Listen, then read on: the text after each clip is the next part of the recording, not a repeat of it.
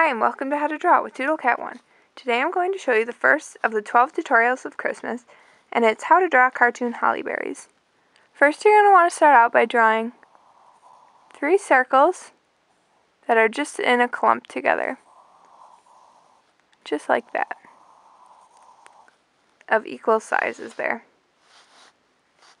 And from there, you're going to want to draw three shine marks in between all three of those. And if you don't know how to draw a shine mark, a shine mark is just two lines that are curved, and then you just connect the tops of them with straight lines. So what you're going to want to do is add smalls of those in each of the berries there. And from there, you're going to want to draw um, the leaves, and I like to add just two leaves with jagged edges, and then one pointed edge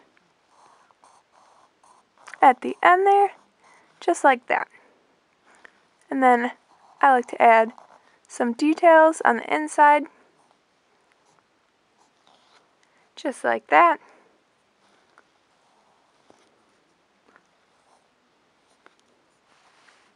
And then the second leaf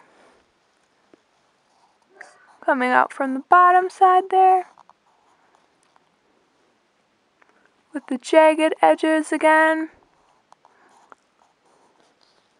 And then again with the one pointed edge at the bottom.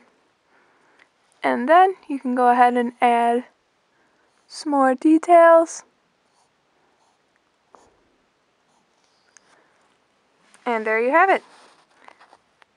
This is the first tutorial, and there should be 11 more, so keep checking back to my channel, and be sure to subscribe. Thanks for watching.